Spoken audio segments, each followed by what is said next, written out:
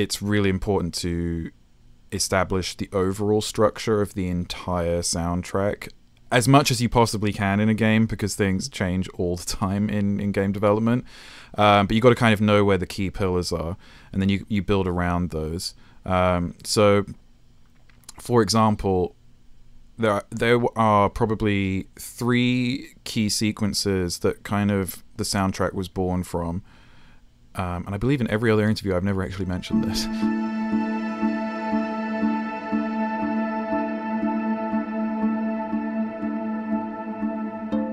Hello again, everybody, and welcome back to the Soundiron Podcast. I am your host, Craig Peters, and today on the podcast, we're going to be talking with composer Gareth Coker, who is an award winning British composer for film, games, and commercials. He's composed the music for games like Ori and the Blind Forest, which was reviewed as one of the highest rated games on Xbox One and has won a ton of awards. And we're also going to be talking about his involvement with the game Ark Survival Evolved, The Unspoken, and a bunch more, so stick around.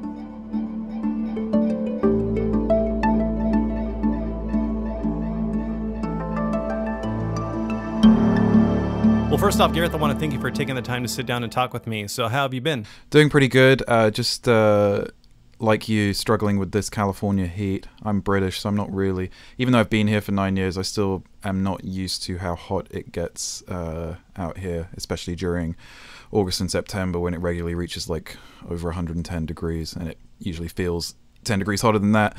Um, so, yeah, I'm still struggling with that. But other than that, things are good. Oh, awesome! Yeah, it's been uh, it's been burning out here. Some days some days are hotter than others. Like sometimes I go outside and it's not too bad. And then sometimes I do and I just run back in because I feel like my face is gonna melt right. well, um, for anyone who's not too familiar with you and uh, in your work, um, what I'd like to talk a little bit about is uh, kind of how you got into music and what are some of your earlier influences that kind of brought you to the you know to where you are now as far as being a you know composer for games and film Ooh, uh, let's see. So I think I think when my first my first awareness of music and film um, was after seeing Forrest Gump um, at the age of at the age of I would have been nine at the time.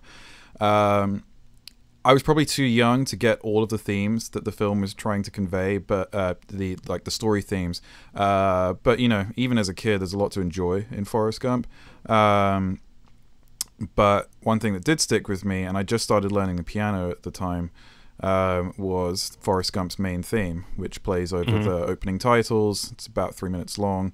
Um, yeah. And it's this solo, wistful solo piano thing that Alan Silvestri does, and that was the first piece of sheet music that I ever bought. Um, well, I guess my parents bought it because I didn't have any money when I was nine. But, um, but uh, yeah, that was probably the first time I was aware of it. Um, but I didn't really start composing music until I was 16, and even then, it was kind of uh, something I just did. I wasn't really like I'm going to be a composer. Mm-hmm.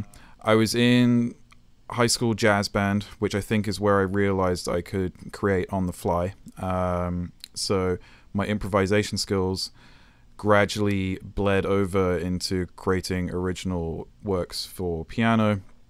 Um, and then my music teacher at high school was like, "You should apply to go to music school." And I was like, oh, "Okay." Um, and I went in with an attitude of I have nothing to lose. So, um, yeah. but I, I didn't have any clue how to write for the orchestra, um, and I, I didn't. I'd never really written for anything other than piano.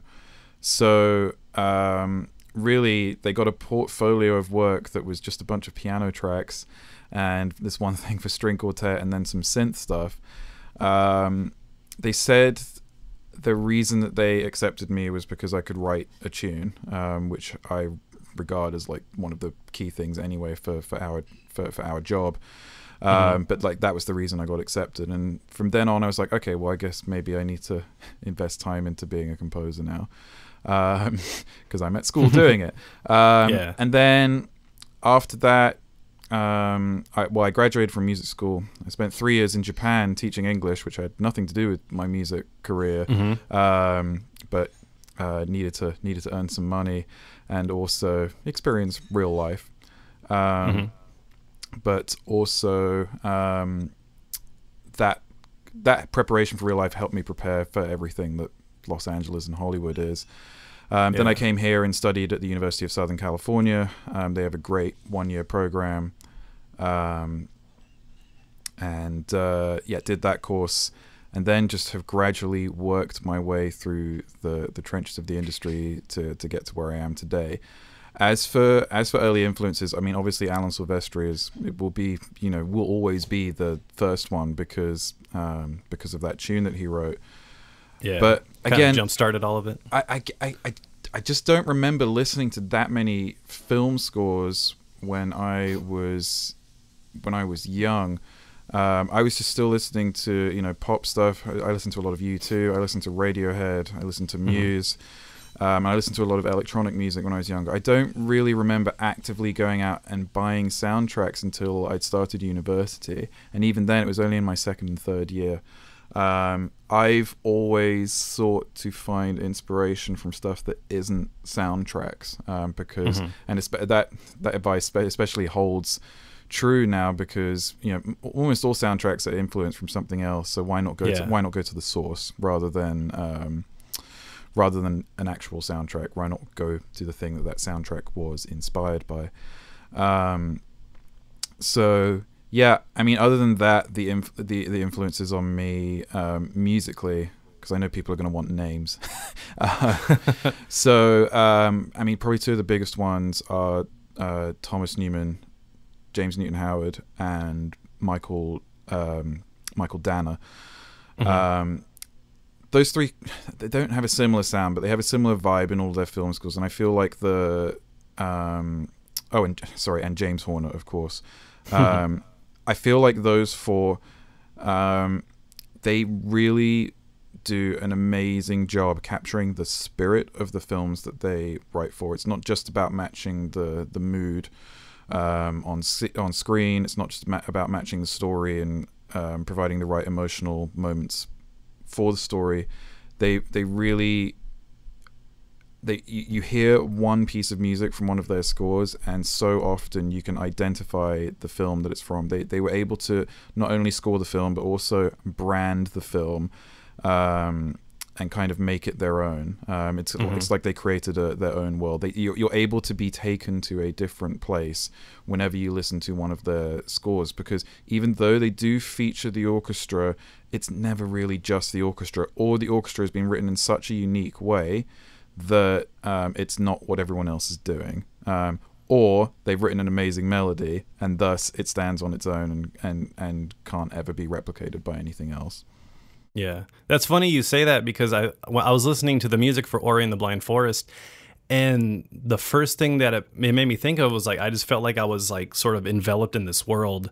Was very uh, you know very musical, has you know this very like uh, fantasy kind of feel, and it was just like that's the like the perfect way to put it. It was just like this very like uh, I don't know sonic and musical world is really cool. And uh, um, when it came to that score, uh, how did you go about crafting the sound for that game? Like, was that something that you really worked with with the with the creators of the game, or like how did how did you sort of come up with the the overall sound or tone? I mean, I kind of had uh, completely free rein for that project, which is unusual given that I had barely any experience. Um, they they were just they were just of the opinion that you know put stuff in the game, see if it works, and then if you think it works, you can present it to us. Um, so so the thing that helped me the most is that I had um, great access to the game for the entire period of development, and I was on the pro Oh, yeah. I was on the project for like three to four years. Now it doesn't mean I was working full time on the project for three to four years, um, but I was around it, um, and thus I knew I knew every detail about the game before I actually got into crunch time for writing music. Um, you know, I knew all the levels, I knew how Ori moved, I knew all of the attacks, I knew all of the key cutscenes in the game, where they occurred, when they occurred, what emotion the player is supposed to be experiencing at any given time. Um, so I was kind of able to figure out the flow of the game, and for, for me, like the flow informs everything else, like how you how you orchestrate, how you um, how you wh- where you put the melody, where you don't put the melody, etc., etc. Um, It's really important to establish the overall structure of the entire soundtrack as much as you possibly can in a game because things change all the time in, in game development. Yeah. Um, but you got to kind of know where the key pillars are, and then you, you build around those. Um, so, for example, there are, there are probably three key sequences that kind of the soundtrack was born from. Um, and I believe in every other interview I've never actually mentioned this. Um, so, oh, nice. um, so the first is obviously it's the opening, the opening like nine to ten minutes of the game, the prologue. Um, we do a lot of scene setting there um, and a lot of storytelling to like get the player prepared for what is to come. Mhm. Um, then there's a cutscene about 20, 25 minutes, depending on your ability, into the game.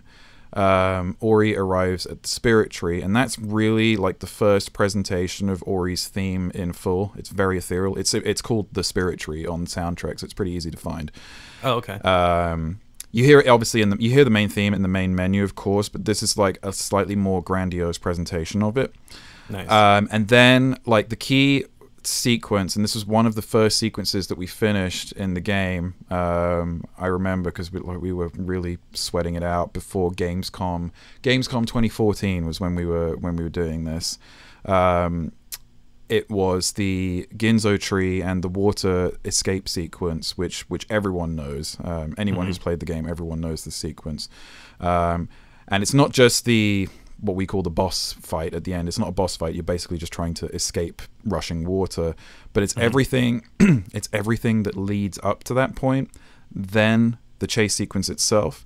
Then the cutscene after that, and then the next sequence of gameplay after that. It's how all of those elements flow into one one another and feel like a cohesive piece of music even though it's technically speaking i mean for any person who's played the game it could take you if you're good it could take you as little as 10 minutes and if you're uh, you know if you're not so good it can take you up to an hour but it should always feel continuous um, as you're climbing the Ginso tree and then escaping it and then having the cutscene at the end. That sequence and the other two, um, we got those finished, and then I was like, okay, I know how to do the rest of this game um, because the approach that worked for one area, I ended up using for other areas, and it just seemed to work. Um, the, the one of the great things about the design of Ori is that the the, the areas of the game we've got lots of different environmental areas. So there's the Ginso tree, the Forlorn Ruins, which is a more icy and frozen area, the Misty Woods, which is this crazy place which has no map, and you're supposed to feel disoriented. Um, we've got tons of these areas which they are quite big, but they're also not too big, so you don't um, you don't end up getting stuck there for too long unless un- unless like you're dying a lot. Um, and that that means that means you're not having to you're not having to write huge amounts of music. You're having to write just enough to keep the player engaged because I think I think there's a limit to like how much music you know you can put you can put in it you can put in a game before it starts to become redundant. Um, uh, it's it's you, you want to find a balance between quality and quantity and, and the nice thing about Ori's areas um, where I, I'd never felt bogged down in one area for too long. It's like not like oh no I have to write another four minute cue for the, the the area that I've already written three four minute cues for. Um, I think no area has more than eight minutes, maybe ten. Apart from the Ginso tree, actually, I think no more area has more than like eight to ten minutes of music written for it. Um, uh, so, oh, and the, and the final area, uh, but like overall, it's fairly self-contained. Um, so, yeah, once I've decided those initial, uh, once sorry, not decided, once those first areas were written, it made it very much more straightforward. I mean, not completely straightforward, obviously, to handle all the other areas of the game. Um, and then it was really just a, an exercise in instrumentation and orchestration, um, just making the areas feel and sound different to another, but also keeping the consistent overall aesthetic that we've established with those three other areas. Nice. Have you ever had a situation where you came up with the main theme more like during the middle of the process and then sort of reworked the music around that? Yeah, I mean the, main theme, like it was not the, the the actual first real sign of a theme that we had for the game is actually the the piece that plays at the very beginning of the prologue, which a lot of people think is the main theme, but it's it's really not. Um, the main theme is what you hear in the main menu. Um, but I would say the first thematic idea was was that piece when the leaf falls off the tree. Mm-hmm. Um, but uh, I think it's one of those things. If you come up, great melodies don't grow on trees. If they did, uh, life would be a lot e- life would be a lot easier. Um, yeah. And you know, if you do stumble upon something that works even better, yeah, it's going to be more work, but you have to go back and rework it in because you you, you might just stumble across it um, later on, especially when you're working on a game for as you know for as long as most composers work on games. Mm-hmm. You're not if you're working on a game for 12 months. The chances are you're not going to have an amazing idea every day for 12 months. Uh, yeah. that's just not how it works. Even John Williams doesn't probably doesn't have an amazing idea every uh, you know, he didn't write the Star Wars theme every day of his life. Yeah. Um, so, um, you know, these things take time. I think, I do think though that the, as it's p- kind of part of the fermentation process of finding the sound for a score. Um, mm-hmm.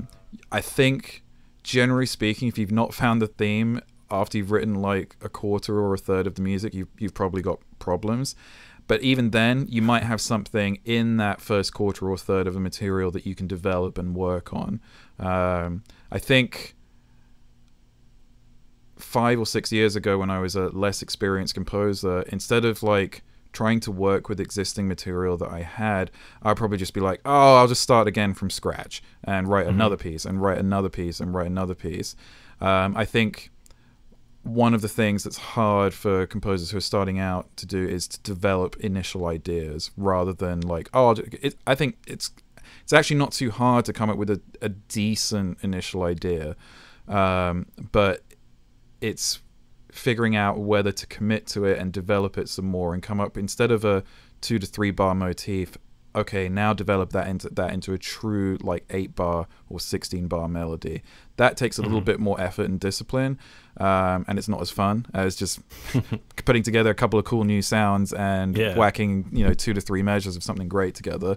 Um, but I think if you can do that, you'll get something that's a lot more lasting because you don't have to use all 16 measures of the melody every single time. You can just use fragments of it and then you can play it in reverse or, uh, yeah. you know, elongate it or shorten it. Or there's so many things you can do if you have one amazing theme. And then if you have two or three, well, then you're really in business. Um, mm-hmm. So um, with with Ori, we we kind of use the one theme a lot because it is you know it is the title of the game uh, and there's only you only play as one character and the the peripheral characters are not you know you don't spend much time with them. Um, but to move on well not move on but like to to move to the future ori and the will of the wisps anyone who's seen the the two trailers, it's pretty mm-hmm. obvious mm-hmm. that we have a fairly you know important second character because we've you know we've we've shown that second character in the trailer quite heavily. So yeah, um, so that's an opportunity to to write a second theme. Um, so we'll see where that goes. Um, it, will be nice to have um, something to play off the Ori theme. Um, mm-hmm. wh- whereas for the first game, I didn't do much of that. Yeah, I was watching that trailer the other day, and it's just as top notch, I think, as you know, Ori in the Blind Forest. And uh, there's this one part, I think it was like a, a, minute, like around a minute and a half, where it just like peaks and gets super epic, and I thought it was really cool. And um, so, doing the uh, the first one, do you feel like, of course, that just makes doing this game that much easier, or do you feel it's a little bit harder because you have that challenge of not wanting to repeat yourself, or? Yeah, I mean, you you kind of want to do something new, but it's also got to feel familiar because people are there. There is a DNA that we created with the first game, and it's not just it's not just the um, you know it's not just the music, it's the art as well. It's the gameplay. The gameplay's got to feel the same, um, but it's got to feel the same, and we've got to do new stuff. And so at this year's E3 we're like, okay, well, here's here's the new gameplay, and we've really overhauled combat because we're now giving you a sword, a bow, a spear, um, and all of this other stuff that was not in the first game. And mm-hmm. well, you guys are going to tell us if it still feels like Ori, and fortunately, it does. Um, awesome. The, the, art is way, way more layered than it was before in in the original game. Like there's there's a lot of depth now. Um, and that's that's kind of a fundamental change. It's it's it's not a 3D game, but it looks more 3D if that makes sense. Um, mm-hmm. And then the music too. It's like you know if if people fire up the game and they don't hear the main theme, they're going to be like, "What's going on?" Uh, yeah, what game is this? Right. Um, so you know, but but you know, we'll do a new recording and we'll do a new arrangement of the main theme so people can hear something new on the main menu. Um, and um, as for the music, I think because of like the you know there's there's going to be so many new environments, which again we've hinted at in the trailer, that already gives me a kind of a new canvas to work on. And again, as we showed in the trailer, I mean, we've not just got one additional new character. It's pretty obvious that you're going to see a lot more creatures in this uh, mm-hmm. in this game. Like in the first trailer, we showed the giant toad um, and the spider.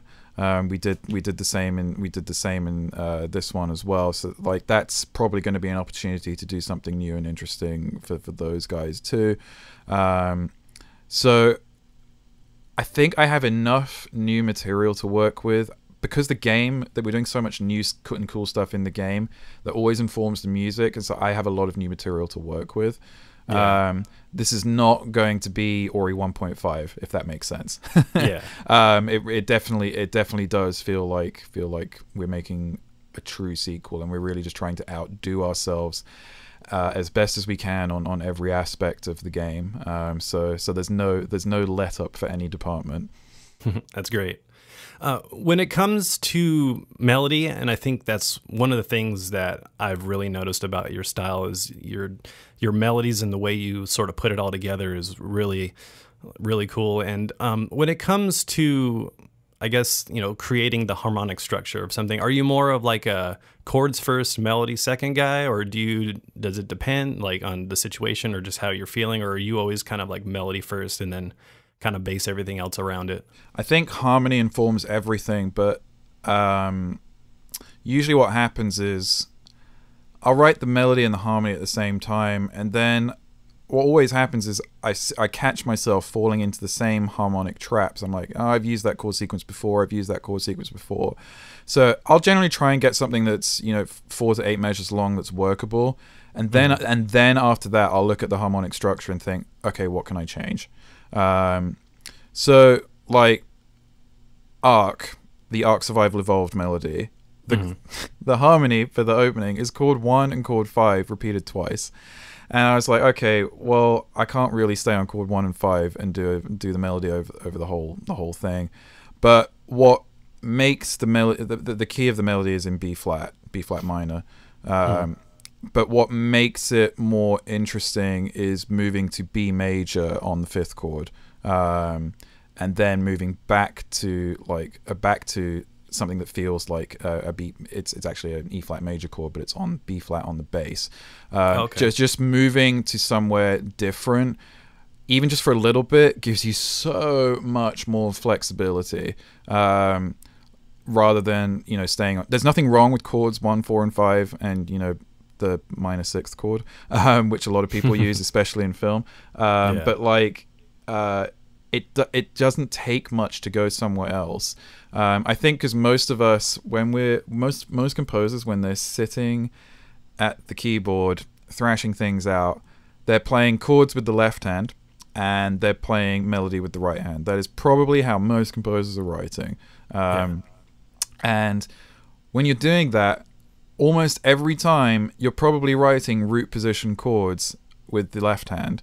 And root position is like it's great because it's it's a fundamental part of film music, but where things get really interesting is like just stop yourself for for one second and instead of playing a root position chord just move like literally one finger of your hand usually the bottom one and move it just anywhere else and see what happens um, mm-hmm. because some really interesting things start to happen once you move away from root position and just change the bass notes of the chord but because of the way because of the way sequences are sequences are and the, the way music software is we always end up just right i think we always end up the starting point is writing stuff in root position, mm-hmm. and that that can end up being limiting and forcing you down the same paths that you've been through before. Um, you know, if you look at trailer music, like literally everything is in root position, but the really good trailer music has like that one chord that makes it interesting. Uh, Yeah. Like, oh, they finally did something different with the bass. And once you've done that once, you have like a million more options of a new chord for where to move to. Um, so if you've got any, if we've got any uh, people who are starting up listening, or even you know even established composers, but, but they probably know this.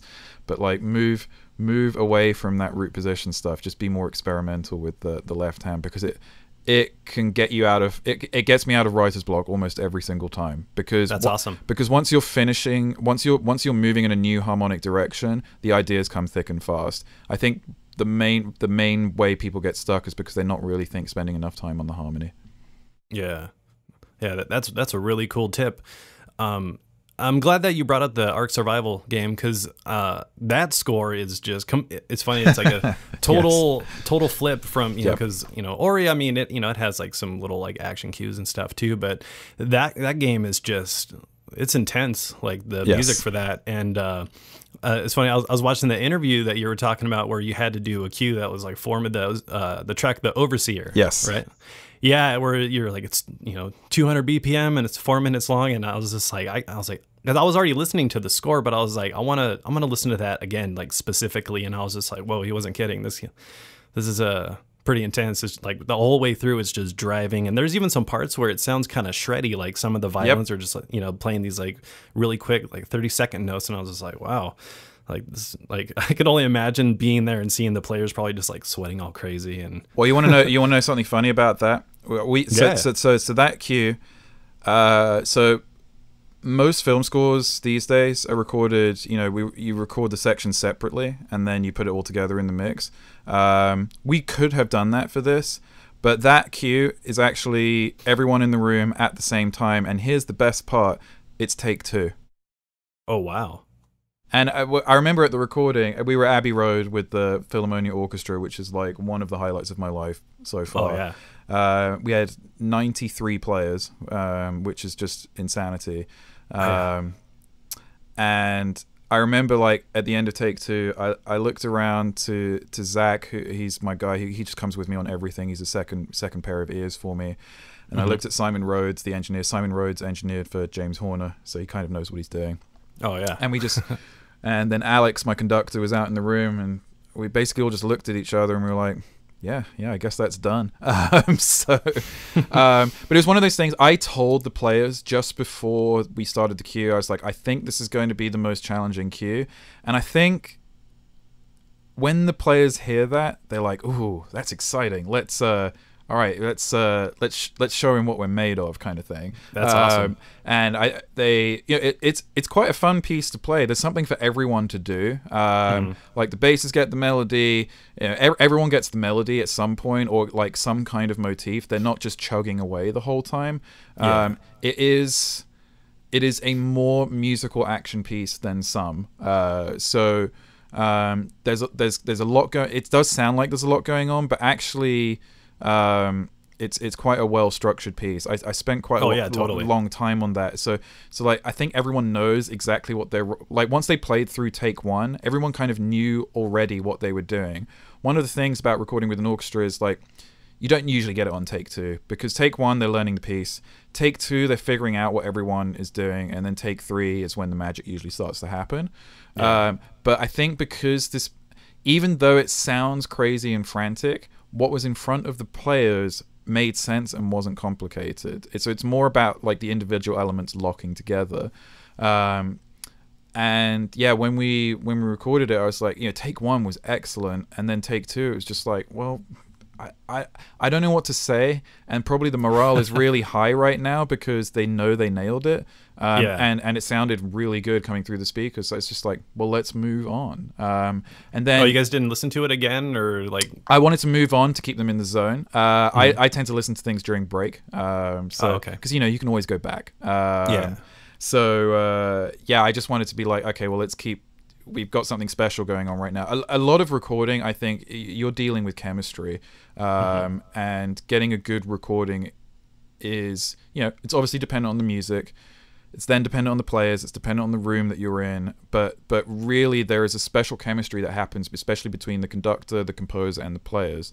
Um, And uh, every recording I've done, there is always an hour or two where the players are just playing at a slightly higher level, and it's not. It's you know you want them to reach that level for the whole thing, but you know it's it's just you know sometimes the cues don't allow you to do that because sometimes you're just writing something that's supposed to be played in the background. Um, but if there is one of those magical hours, then I generally change the running order and I just move a bunch of you know difficult cues closer together or important cues because I'm like the players are really feeling it right now um, because you know they can play the simple stuff really well as well.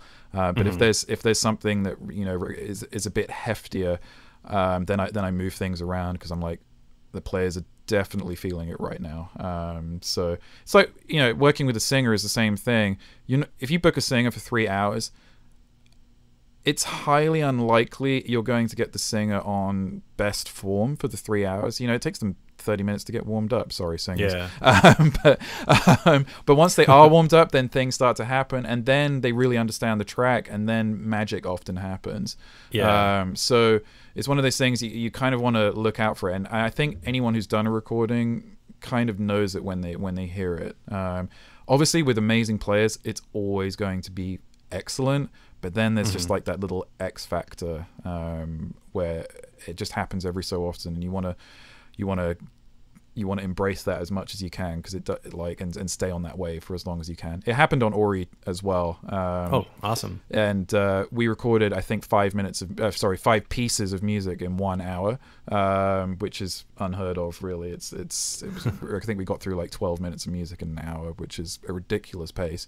Um, and and one of the pieces was the uh, the escape sequence from the the Ginso tree. So um, yeah, the players were just in a zone, um, and it was funny because the previous hour we'd struggled. Um, like the pace was a little bit slow, and then uh, Alex, my conductor, was like, "Yeah, I know that was slow. We're gonna really whip them into shape for the second hour." and that I don't know what it was. I think I think maybe just everyone had talked during break, like they, they, they, they kind of knew that they were struggling a little bit, and then everyone came back and played with a vengeance. There's there's so much that goes on. I mean, when you've got even 30 people, but when you've got 50 or 60 or as many as we did for Ark 90, um, there is so much going on. You're dealing with humans who have known each other for a very long time, and they kind of get what makes each other tick.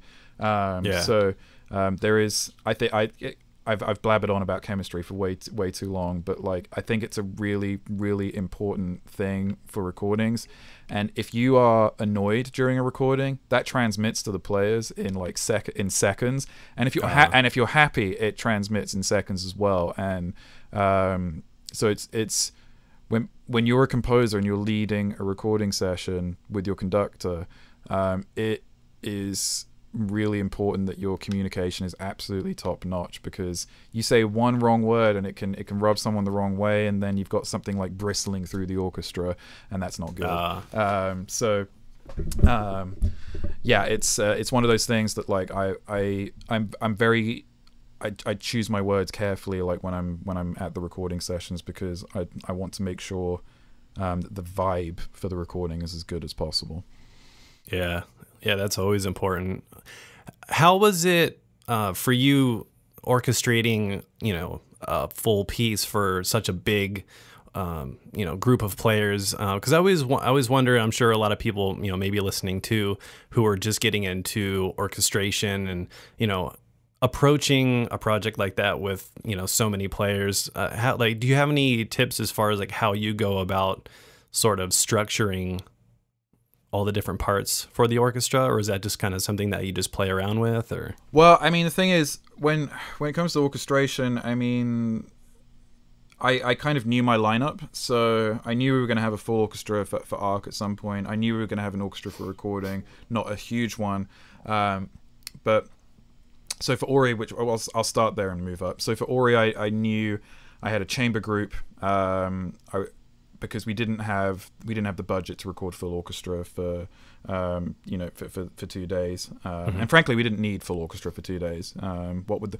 what would the brass do for like two days on Ori? Like it's not a brassy game. So um, but for for the whole of the first day we just had a chamber group of 22 strings. It's very easy to orchestrate for 22 strings so you're really only writing five lines uh, maybe Yeah. maybe 10 if you're dividing Um, then the second day on Ori is when we use the bigger orchestra for the bigger for the bigger cues. Um, but even then, like you know, there were no trumpets in in Ori. Um, and the brass section was just four horns and three trombones, not even a tuba, um, which was actually a mistake in hindsight. I would have loved to have had tuba, but uh it's fine. Um, it still it still works okay. Yeah. Um, and then we just had single woodwind and a bigger string section.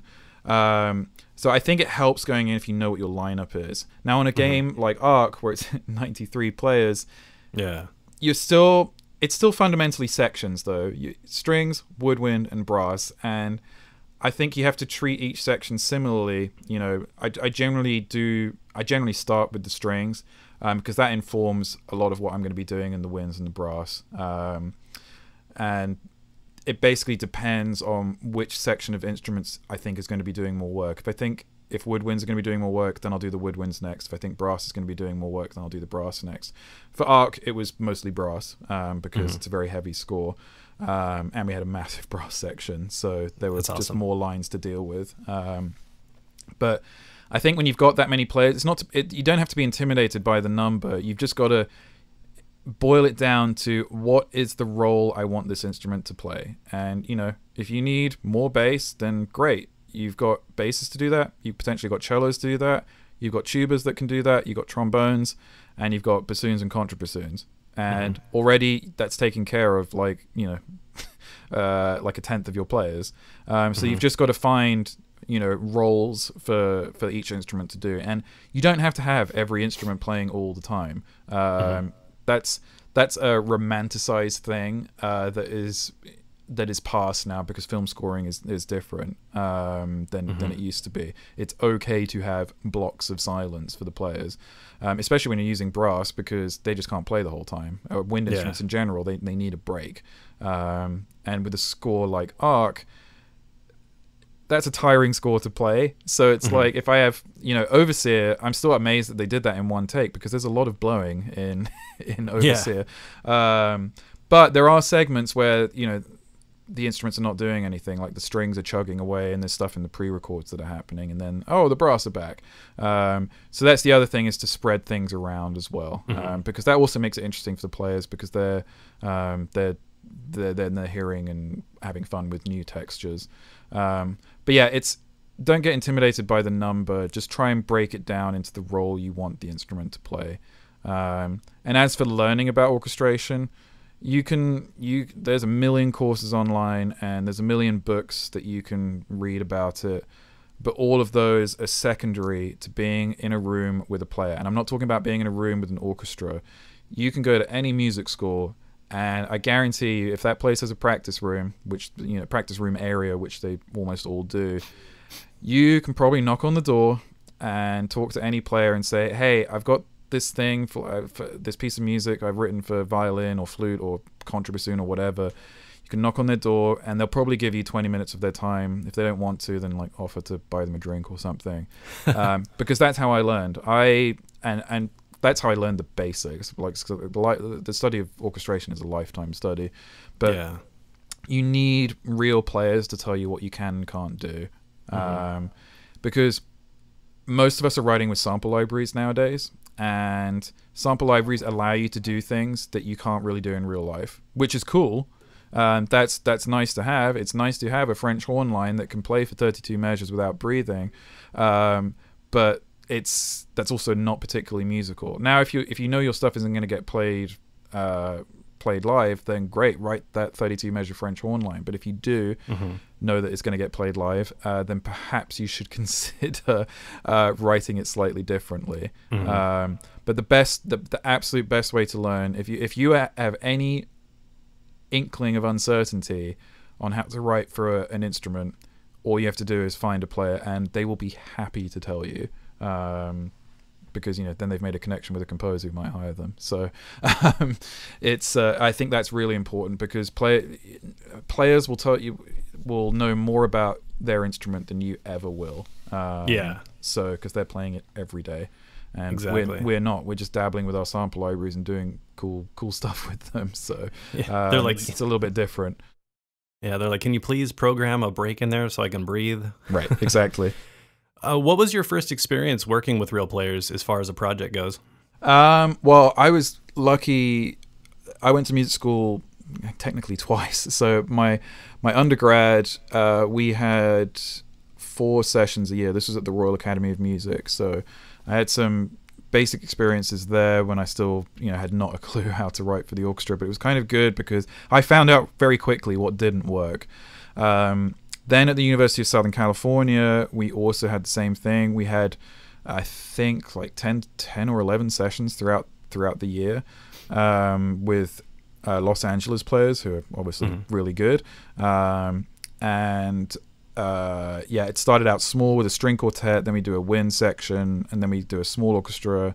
Um, but then and then things gradually progressed to like a big 65 piece orchestra right at the end.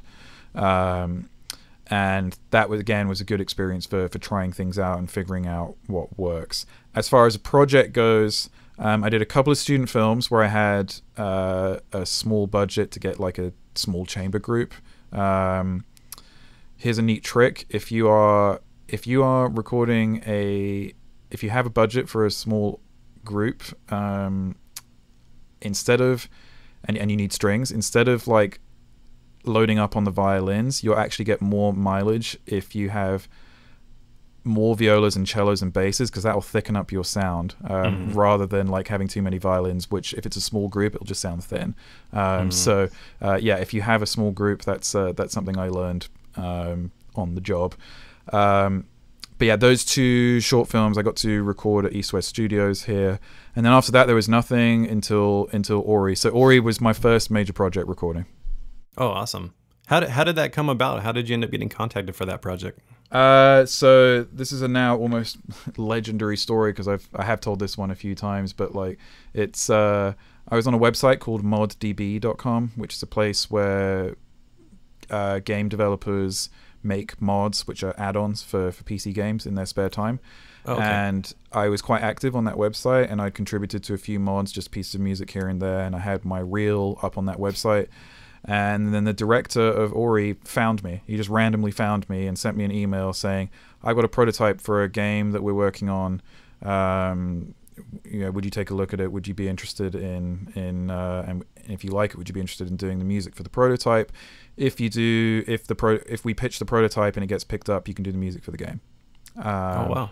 And I was like, I took one look at the game. It looked nothing like what Ori does looks like now, but mm-hmm the gameplay felt right. I'm I'm a gamer. Like I know a good game when I feel one. Like when I can tell within 10 minutes of starting a game if I'm going to enjoy a game or not because the controls oh, yeah. the controls are so important. If the yeah. controls feel polished, that's going to get me through at least 2 to 3 hours. Um, mm-hmm. before I start looking for more mistakes. Um, mm-hmm. so um, yeah, that's the thing. The controls felt amazing, and I was like, okay, this guy is onto something. And it also it looked it looked fabulous, but it looked different to how it does now. It was more abstract back in the day. Uh, oh, okay. But uh, I mean, that's partly for budget reasons. I think. I think they were trying yeah. to, you know, they didn't want to invest a huge amount on the the look of the game so early on.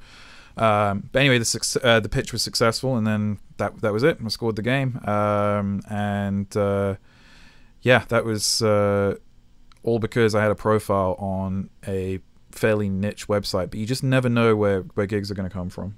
Yeah, that's true. That's very true.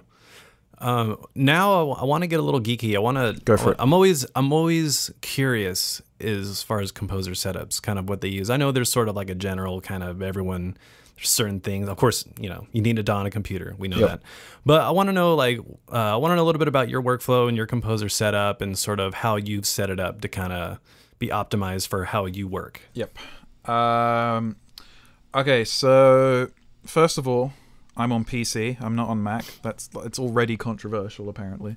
Uh, the forums are going crazy. Right, exactly. Uh, so yeah, I'm uh, yeah, I'm on PC. I've been on PC forever, and I've actually got nothing against Mac. Uh, like it's PC is just what I know. Um, mm-hmm. So, and really, the only thing I'm missing out on is Logic because everything else is available for PC. So yeah. Um, it's probably a handful of plugins that are coded for Mac only, but I'm really not bothered because there's a million plugins for PC. Oh, yeah. um, second of all, uh, I am not a fan of the slave Vienna Ensemble Pro setup. I run everything in one computer. Oh, okay. Um, I'm just not a fan of the multi-computer setup. I will qualify this by saying I have a pretty souped up computer. Um, it's everyone told me don't buy the 18 core uh, Intel latest i9 processor. I've not had a problem with it, so I don't know what people are on about with that. They probably just set it up wrong. Um, uh, 128 gigs of RAM. Uh, all of my samples are on eight SSDs, Oh dang. um, and I have two M2 drives. Uh, my favorite sample libraries and Omnisphere are on the uh, one of the M2 drives, and then my system drive is on the other M2 drive.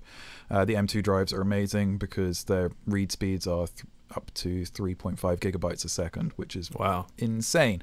Uh, and, my, and my solid state drives are all Samsung 860s, um, and their read speeds are I can't remember what they are, but they're adequate. um, so Nice. uh, yeah, so running all off solid state drives, um, that was easily the biggest switch I uh, switch I made, and I, I've been running off solid state drives for four years now. Um, it's expensive, uh, especially when solid state drives are all four terabytes.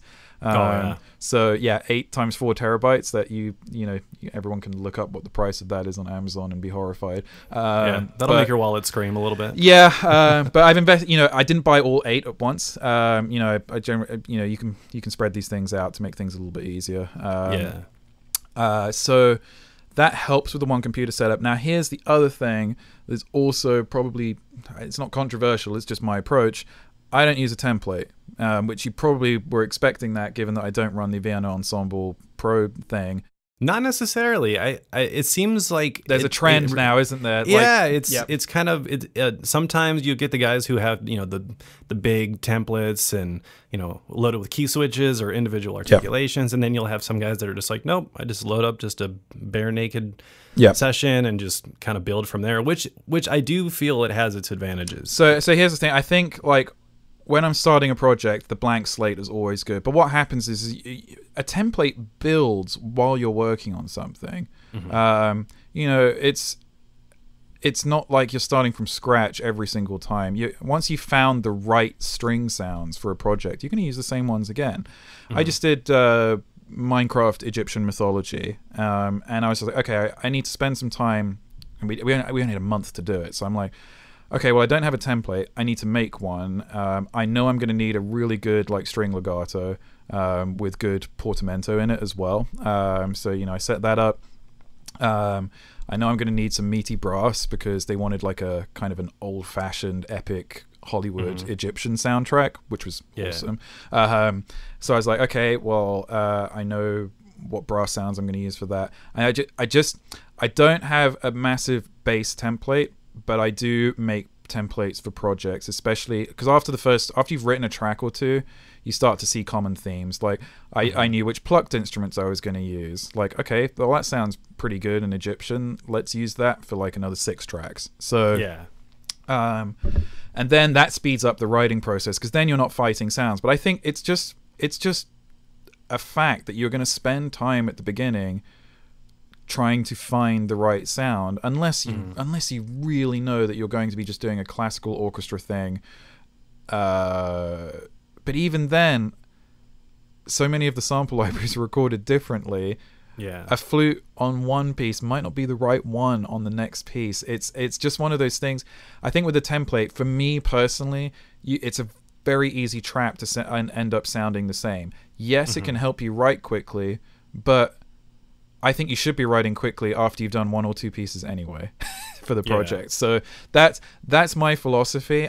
I am sure there are amazing counter arguments to be made for the template approach, um, but it's just the way I, it's just the way I work. So, um, and, and frankly, the way that any whatever way anyone works, whatever's best for them is is good. But yeah, Exactly. I I personally find like the the template is limiting, and looking at all those empty tracks is depressing. Um, I know like most DAWs now have a feature where you can just hide empty tracks, but like uh, it's just with a, with a button press. But it's just it's just still like it's it just feels wasted. And even even with these massive templates, unless you're using Touch OSC to jump around the template, you've still got to find the stuff, and that's like Yeah.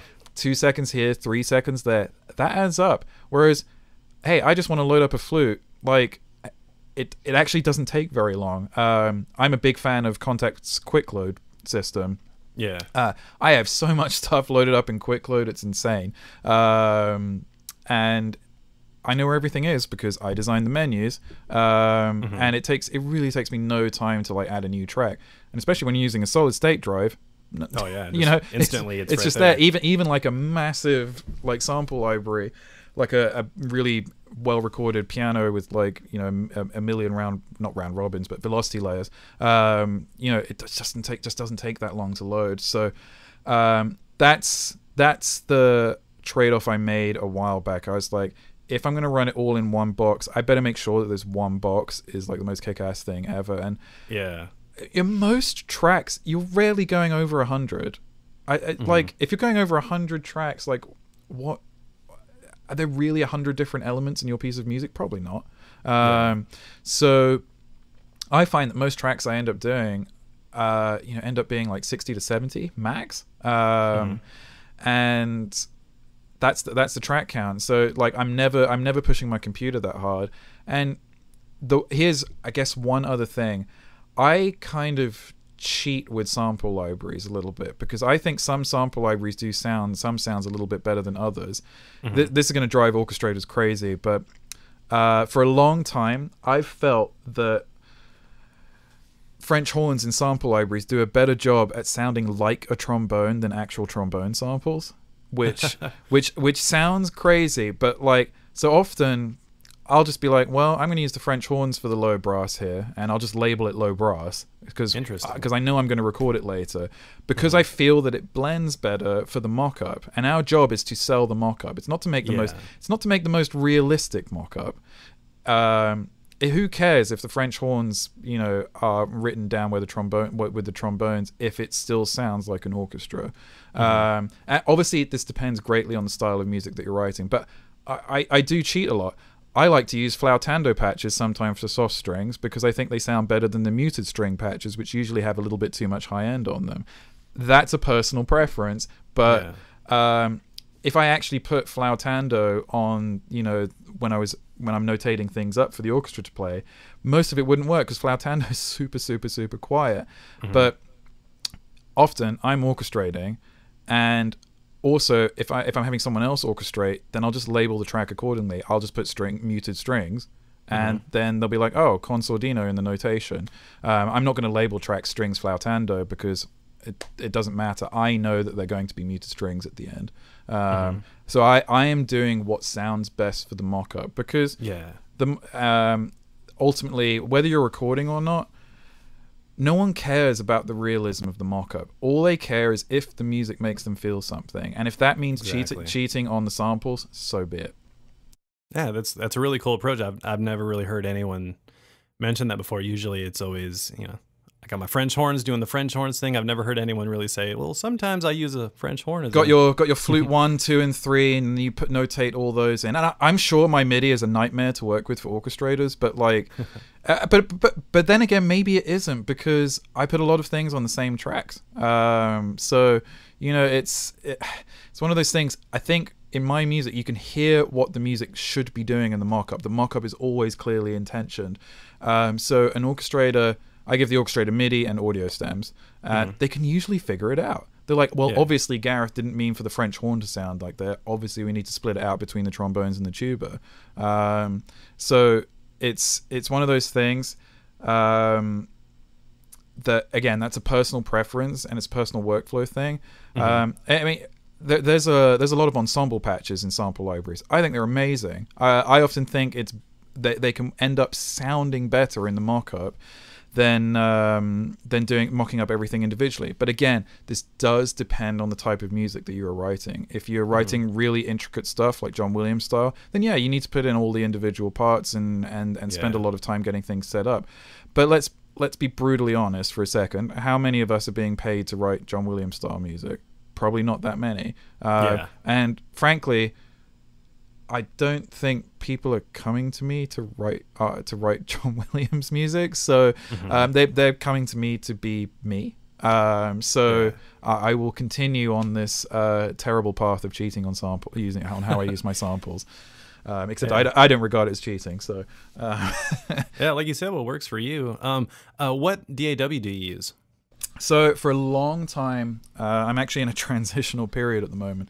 Oh, Uh, for a long time, I had been using Cakewalk's sonar, um, and they went out of business. Um, they were kind of in flux like earlier this year. They've been picked up by another company, but basically development I think has stagnated on the project, and I'm I'm just uncertain as to where it's gone next, uh, where it's going to go next. So uh, I am currently learning and enjoying Reaper. Um, oh wow.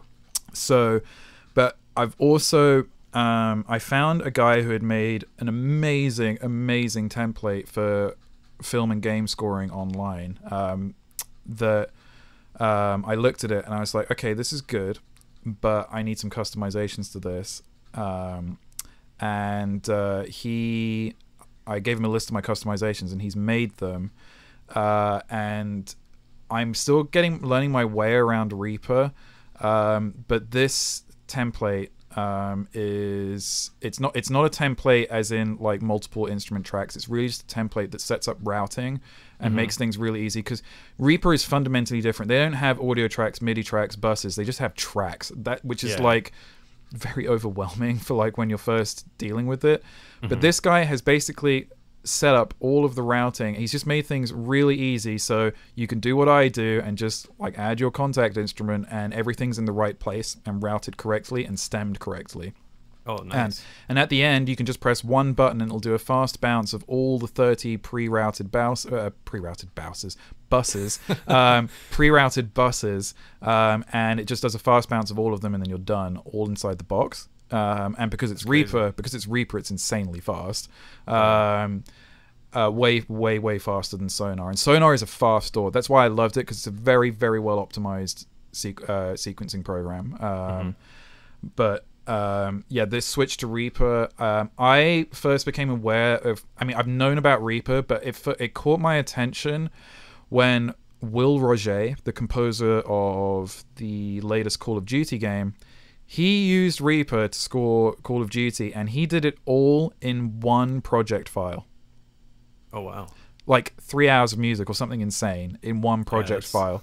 And he said, and he said it never got bogged down because Reaper's amazing and it's so well coded because it's coded by one person, so there's no bloat. Mm-hmm. There's no bloat. Um, and I have found that when when using it, so I'm still I've still got some legacy stuff that I'm switching over um, that I need to um, that, and I need to like learn the program because I feel like I'm driving a car, but I don't really know how to drive the car. If that makes sense, like Yeah. I don't know how it handles over curves, and I don't know how it handles going up hills and things like that. So I'm still I'm still learning it, um, but because of the way that you can customize Reaper to basically do anything that you want, I feel like with the help of this guy who understands how to code stuff for Reaper, and I don't have a clue. I'm just basically whenever I want something, I'm just like, hey, uh, I'll, you know, I'll hire you to, you know, make this little customization for me, and can you make it? And he's usually like, yep, uh, uh, and and great, off we go. Um, we're, we'll we'll have that edition for you next week in like my own custom version of Reaper. Um, yeah, that's awesome. so yeah, I mean, just like a little thing that I asked him to look into. I was uh, like, because right now it prints all thirty stems, whether they have information on them or not. And I'm like, well, I don't really want to have to deal with thirty stems. Do you have a way of like telling Reaper not to print stems that don't have information on them? And he was like, yeah, I just need to figure that out, and I'll probably have an update on it next week. It's just like little things like that that save me another two to three minutes of time. Um, Yeah. So yeah, uh, I'm I, I still have Sonar installed because I have so much legacy stuff that you know I need to be able to open stuff up if people you know want things changed or edited or whatever. Yeah. Um, but I am now moving over to Reaper. I did try Cubase. Uh, I found Cubase woefully inefficient. Um, Uh, uh, I think Cubase is designed specifically to work with Vienna Ensemble Pro because Vienna Ensemble. I think Cubase basically works amazingly if you load nothing in it. Um, like because uh, unless you're like because because I just found that the performance was so like not what I'm used to with Sonar. Um, you know, I have a test MIDI file that just loads up a bunch of Kontakt instruments and Mm-hmm. like just plays scales just so I can check out performance. Yeah. Um, and and Cubase was so far behind Sonar and and so far behind Reaper in terms of performance. And I because I'm working on one computer, I need raw performance. Now, Yeah. if you're running the slave system, well, who cares what the performance is like on the base computer? Obviously, it needs to be good, but um, really, the the work is being done by you know your sampler computers. But because I do everything inside the box, um, I need you know I need my, the box to be good, and I need the the DAW to be extremely efficient. So um, I did try DP as well. Um, the the next most efficient one was uh, PreSonus Studio One. That was a close second because I really like its UI. Um, But with Reaper, you can customize the UI, so who cares? like You're like, hey, can you uh, make Reaper look? I mean, like I mean, PreSonus?" pre- pretty pretty much. Like, I mean, you can ju- you can make it look however you want. So it's just like, well, if I can customize everything, I might as well just take the best of like all the all these different worlds and see if I can, over time, have a DAW that is tailored to me. Um, Yeah. So. Um, so yeah, I will be on Reaper for the foreseeable future. Um, but you know, I know how to use all of the other ones, so it's it's uh, um, this like uh, I think fundamentally, as long as they help you make music and don't get in the way of making music, that's the most important thing. Yeah, exactly. When it, uh, you said that you work a lot on the box, do you do a lot of your own mixing too, or like, uh, do you use any like hardware or when it comes external EQs or to when it comes to the orchestral side of things, uh, I have someone else mix it because, frankly, looking at you know forty microphones f- could be fifty depending on how big the group is. It just it's just scary. Um, Yeah. So uh, yeah, when it comes to the big orchestral sessions, uh, I bounce everything down to audio stems. I don't bounce down every track. I think that's ludicrous. I want my mix engineer to be able to mix rather than like just do track management.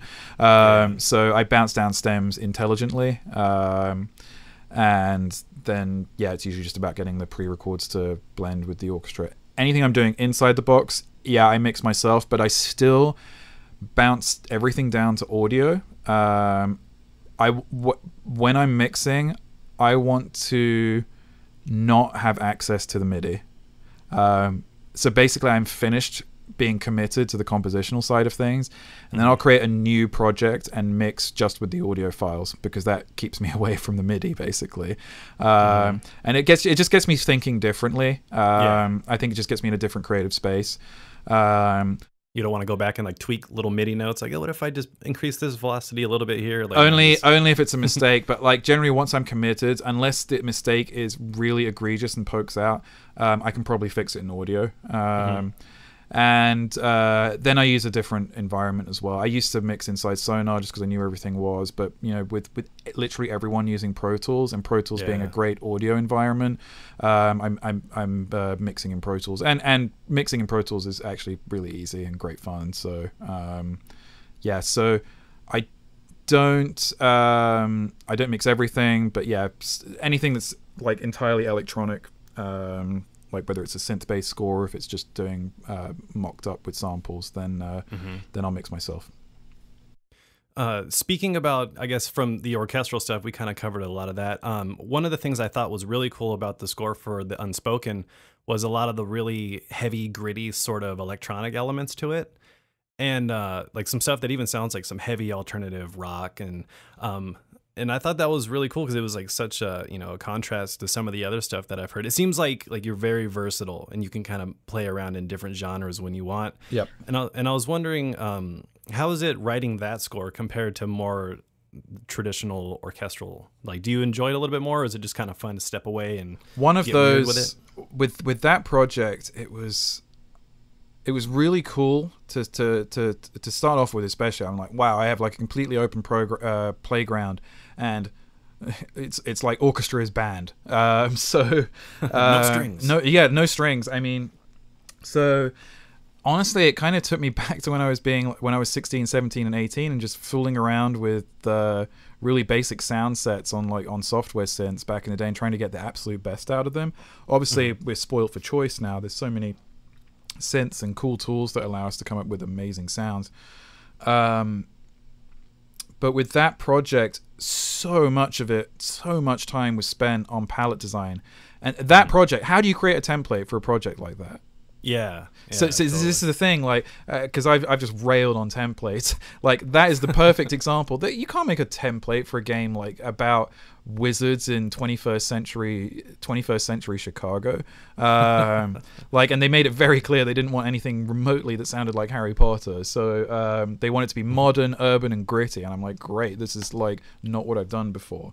Um, and yeah, I mean, I just spent a lot of time you know finding you know finding sounds in omnisphere whatever synth you know whatever synth i was interested in using in Mhm. um, and then I, I like finding bass sounds and then messing them up um, so um, one of my favorite sets of plugins to use is uh, is by Audio Damage, um, an appropriately named company, um, because they have some wild plugins that just can do crazy stuff to audio, and they're all really cheap and they're really fun to use. They got sim- they haven't got annoying, obnoxious interfaces with like tons of buttons. You- Often they're Mhm. like they're just very clear and simple to use, and they're very very light on the CPU. Um, like their delay plugins, for example, are like they got one amazing one called Dub Station, which does this cool reverse delay and it loops the delay because it's based on dub music. Mhm. Compare that, and I'm sorry, Fab Filter. I love Fab Filter, but I can't use Timeless because it is the most horrible interface ever. Um, Oh. Like it just like when you just want like I just want an eighth dotted eighth note delay. Like where is that? It's just it's just like it's just not intuitive to use compared with Sound Toys Echo Boy or or Dub Station. Um, So again, that's my choice. I know people have probably come up with some crazy stuff in Timeless. Um, Just you have to find it. yeah, you just have to find it. Um, but yeah, with that project, I spent so much time investing in in the the palettes for each for each character uh, and and any of the environmental settings that that that were being played in. Um, the one thing that helped glue everything together um, was having a featured solo instrument for the for each character. So Mhm. for the anarchist, we had solo cello, but it was mostly electric cello because anarchist. Um, Yeah. uh, then we had solo voice for one of the other characters and solo electric violin for one of the other characters. So, uh, you know, even the lead instruments were a little bit more punk rock, basically, rather than you know, let's have a flute or you know, because it just wouldn't Yeah. work. Take Uh, a flute, a flute, and run it through some distortion. well, that that could have worked. So, um, uh, but then the other thing that we did was uh, we recorded we recorded live drums on everything. Um, That's so, cool. uh, which because so much of that music is groove based, um, Mhm. I was like, I don't want to stay in the electronic realm. Uh, we need the feel of a real drummer. Um, we need someone who can do ghost notes properly because ghost Mhm. note programming is really difficult on MIDI drums. Yeah. Um, and you know, also I just wanted someone to mash some drums for a day, basically, because I've never done that before. So I was oh, like, that's cool. um, so we did that in East West Studio 2, which is one of the great rock rooms in Los Angeles. Um, really, really high ceiling, but not a massive room. Uh, so Mhm.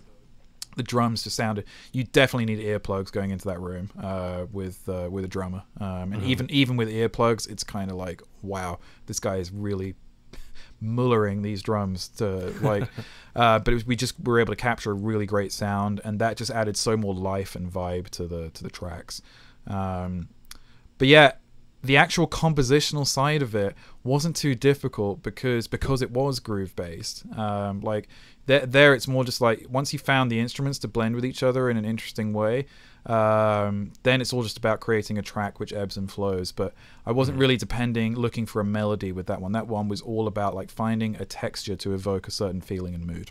Mm hmm Did you start with a lot of drums as far as like were, were you like really trying to get the rhythms first before sort of adding any kind of uh, instruments that had sort of a melodic feel to it or on the on the contrary actually the sounds i started with were the sustained sounds um, Mm. sustained sounds followed by the pulsing sounds um, no actually the rhythms came kind of came at the end uh, because because the sustained and pulsing sounds took up quite a lot of space in the mix i wanted to make sure that they all blended first because the drums were going to cut through no matter what so Mhm.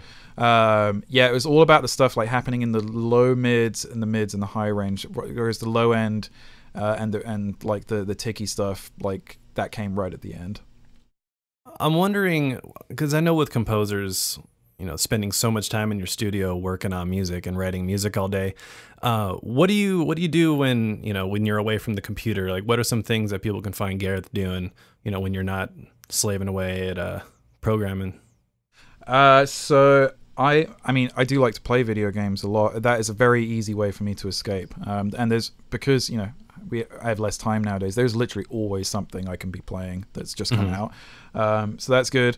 Uh, I do watch a lot of films and TV as well. I think it's imp- it's important to like stay up to date with like current trends and like what's what's popular um, and what what kind of what kind of stories are people enjoying at the moment. Mhm. Um, outside of the house, uh, I've since turning thirty, um, I've invested a lot more in personal health um, because you can't get away with the stuff that you get away with in your twenties. oh yeah, yeah. Tell me about it. Um, so yeah, I uh, I'm exercising three to four times a week. Uh, Oh, that's great. And I'm dieting much better than I used to. And I found I found well, here's the thing: I found that since exercising, I can actually work for longer. Um, because if you're exercising, it is physical exercise, but there's also a mental part. Like you have to work. Mhm. You have to. You actually have to work really hard to like do exercise properly. There's Mhm. a mental aspect to that too. So um, I found that exercising has made me work faster and more efficiently um, as well. That's Um, awesome. just because I think it activates a completely different part of the brain, um, and when that part of the brain is satisfied, then it kind of balances itself out. I'm sure there is some deep scientific study on the correlation between physical exercise and uh, productivity, um, but uh, I don't have access to it right now. But I'm pretty sure there is a I'm pretty sure there is a positive correlation. Um, other than that, my my main thing to do, I spend far too much of my disposable income on eating out. Um, I love eating at fancy restaurants.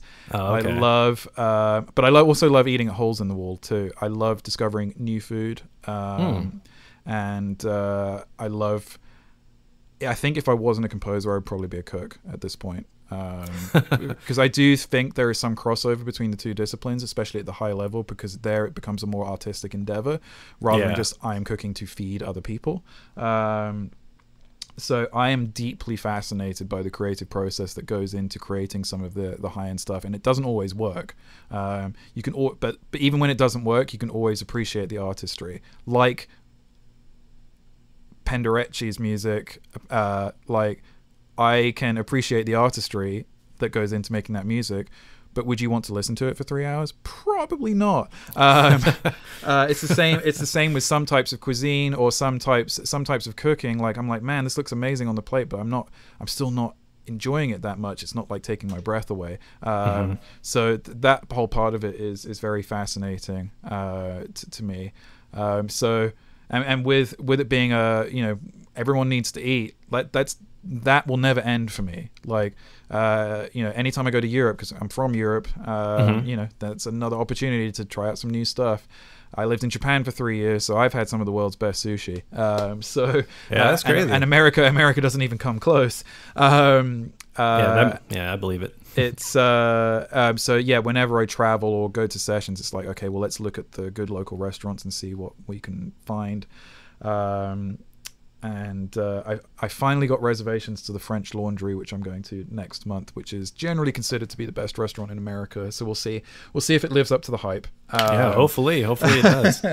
um, but yeah. Um, oh, I guess the other thing is I'm very, I'm probably, I d- definitely in my social circle, I'm like the only person I know that's really into sports, and I'm really into American sports, which usually throws most Americans. They're like, "You like American football?" And I'm like, "Yeah, I probably know more about American football than you do." Um, um, but yeah, I follow American football, American football, baseball, college football, and then basketball is a distant fourth after those three. Um, But I also follow sh- uh, follow English football, which you guys call soccer. Um, Yeah. Uh, and I and uh, I'm a big fan of rugby too. Um, yeah, rugby's intense. next year, I will probably go to Japan to watch some of the Rugby World Cup. Um, Oh, nice. So uh, that'll be that'll be uh, that that's a plan I I have. I have um, so yeah, but sports is a big thing for me because I like the drama that's in sports because it's it is Yeah. it is unscripted and it's like once once if you follow it you get to know you get to know the players and you kind of get to know their backstories and you and you get to see people at the highest level you get to see success and failure and that the emotion that goes on with that is also deeply fascinating to me it's it's the sports themselves it's one thing but it's actually the human side of sports that deeply fascinates me Yeah, the story element of it. yep What about music? Like uh, as far as music, is there anything that you like to listen to that that people would be surprised that you listen to? Um, I mean, I think I think the fact that I listen to so much electronic music would probably surprise a lot of people, given that it's so far from like what I'm known for, with especially with Ori. Um, like a band that I love just came out with a new album recently. Um, the band's called Hybrid. Um, it's really just a guy and a woman now, um, and uh, they just built, bought an album called Light of the Fearless. But if you want to learn about production, just listen to any piece of music that Hybrid has written in their like 20 year career, uh, and then prepare to get depressed because whatever you listen to, it'll be better than whatever production you are doing right now because their production is off the charts. Um, it is. I learn something every time I listen to their stuff, even though I'm deeply familiar with all their work. Um, and I probably learned about how to layer sounds more through listening to electronic music than any orchestral stuff because the really good electronic music I'm not talking about EDM the stuff that you hear at nightclubs I'm talking about bands like Hybrid or Crystal Method or M80 Yeah. or M83 um, that stuff is even more richly layered than a lot of orchestral music. There's a lot going on in the music, and it's all it's all got definition. You can really hear everything, um, and I have tried to learn as much from that as I can, and then apply it in the orchestral setting. Um, like if you listen to Ori, there are a lot of layers going on in the music, but everything kind of has its own place. Um, so yeah, electronic music, especially heavy electronic music, because there's so much stuff going on in the mix. It's like, how did they make everything cut through so well? Um, I used to listen to The Prodigy, which is a pretty hardcore British electronic group, um, Yeah. but their their mixes are always so so interesting to listen to. Um, I'm going to try and think of more weird and esoteric stuff. Well, it's not weird, but um, one of the composers who I think is a genius, and she's incredibly underrated and underappreciated, is Yoko Kanno. Um, I think she is probably the most versatile media composer in the world. Oh wow. Um, I know that's quite a claim to make, but anyone who is familiar with her body of work uh, will will probably agree with me on that. Um, you know, there are lots of composers who are very good at doing one or two things, and that's totally cool because they're usually the best at doing it. Um, but she, she just sounds like she's the best. Like when, whenever she does something, I'm just like, well, that's great. You've just nailed that style, even though you've probably only been doing it for like 10 minutes. But um, yeah, if you just type in Yoko Kanno into iTunes or Spotify and then just hit play, um, prepare to be amazed. Yeah, I got to check that out. Um, yeah, it's Yoko Y O K O Kanno. It's K A with two N's and then an O. Um, and uh, yeah, all of her work is very interesting to listen to. And it's it's it's impeccably produced and very intelligently composed. That's awesome. Yeah, it's always kind of disheartening when you see these artists where everything they do is just kind of like it's just like like oh you're good at that too like uh, i don't know if, if you're familiar with uh, jordan rudess he's the keyboard Yes. player for dream theater Yep. he's been posting these instagram videos of him playing guitar now an eight string guitar and he's like doing these like little shredding licks and stuff and i'm just like oh thanks a lot like i, I don't even want to you know eventually make me not even want to play guitar now he's already Yep. made me think i'll never be a good keyboard player and then he goes and he's like, yeah, I'll I'll start playing guitar, and he's all sh- doing some little shredding stuff. I'm just like, yeah, he'll probably be a master in like six months. It's crazy. Yeah, just it's uh, that's a lifetime of study right there. But some people just seem to seem to operate on a different level. Um, Yeah. So um, I'm like, well, I'm never going to operate on that level, but maybe I can hire that person. Uh, Huh. So that that's that's like that's like a that's that, that would be the tactic. Um, but yeah, I mean, You can't beat them, join them. well, th- yeah, exactly. I mean, there's, uh, I mean, and there's so many other composers like who, whose work is deeply, deeply fascinating to listen to, and I'm just like, well, I could never do that, and and actually, I wouldn't want to even try. So, like, Gordy Haab is doing the music for Star Wars right now in the video game side of things, and uh, I listen to that stuff, and I'm like, yeah, I'll never get hired to do that, and that's okay. Uh, like, and, and that's fine. Like, and um, you know, Mick Mick Gordon does the really heavy stuff for for Doom, Mhm. and I'm like, well, I mean, it's look, I could learn how to do all of this stuff, but I'm still gonna not have the experience of making all the stuff that these guys have. You know, they've been doing the, you know, they've been doing, they've been focusing on that area for a while, and they've really like, Yeah. learned how to make that sound really good. But you know, I I I think Ori is a certain sound that is not easy to emulate, Oh no. Yeah, definitely not. And it took a lot. That took time for me to cultivate. So um, you know, it's I'll I'll commit to my own sound and, and see how far it takes me. I guess. Um, I think one of the cool things, especially in games at the moment, is that there's a lot of different sounds, um, like just a lot of different palettes and different compositional styles, and they're all coexisting. Um, Mhm. Like there's room, there is a lot of room at a very big table for games, whereas I feel like the the range of palette and emotion in film is maybe a little bit smaller because the playground is a little bit smaller. But games, the playground is kind of limitless um, because Yeah. the types of games are being made are like the just the variety is absolutely enormous. Yeah, it's like it's never been bigger. Seems Right. Yep. Uh, and it's still growing. So. Lastly, I want to know since we were kind of talking about that, um, do you have any sort of dream projects or something that you would love to sort of put your name on, or or projects or or anything that you would love to do that you haven't? there are some i think i think with some games that like they are inextricably linked to, their composers so i wouldn't want to touch them. Like you know i like with with with star wars for example you know it's i i who wouldn't want to work on star wars? No one would ever turn star wars down but like uh you know gordy has got that completely sewn up and he's absolutely nailing the feel um but so so the projects I'd be looking at are the ones which are kind of serialized at this point, um, and have, and are using different composers. Um, so I, I'd love to work on an Assassin's Creed game um, because they are generally changing composers now quite frequently. Yeah, it seems like it, it kind of varies a lot. I, I mean, Jesper Kyd set the original tone for the Assassin's Creed, and and it's amazing. And like uh, the score for the most recent game, Assassin's Creed Origins, which was done by Sarah Schachner, she captured the spirit of Jesper Kyd, but also made it her own um, Yeah. with her unique style. I thought that was really cool. So I, I'd I'd love to have a chance to do that because I, I also don't feel I'd be treading on anyone's toes. Does that make Does that make sense? Yeah, totally. Um, like um, another series that seems to be moving in that direction. I mean, they've always had multiple composers. Is uh, is Mass Effect? Um, there's a lot of rumors that that game series is dead, but I don't believe that's true. I believe that there will be another Mass Effect game at some point. I would love to work on that series.